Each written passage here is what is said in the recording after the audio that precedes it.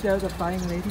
So how long you own it? If you sell it, let me know. I'm very interested. 30 years. 30 years, wow. Beautiful. It's winner from a war, right? It's, so amazing.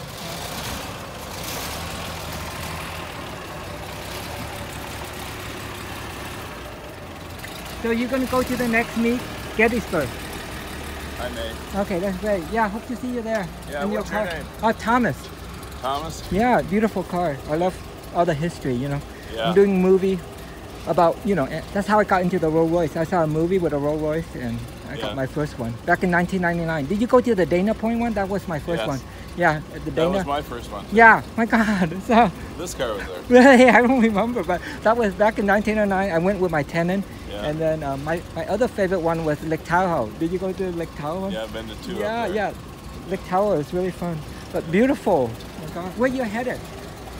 Carlsbad. Oh, Costa. Okay, now you're very close. Okay. Yeah. Have a great day. Great job there.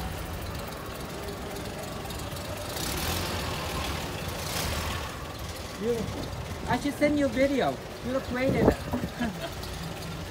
Thank you. So cool. So this is a Bentley, right? Oh, a Rolls Royce? Yeah. Oh, Bentley. Yeah. Beautiful. 1934. 1934.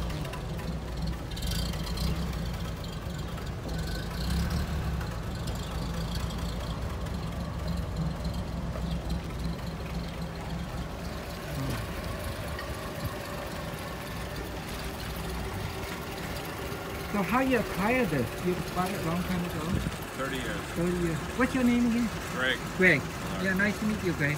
Yeah, same to you. Yeah, beautiful. Finally we meet. We have something in common. There we go. 1999 Dana Point. Yeah.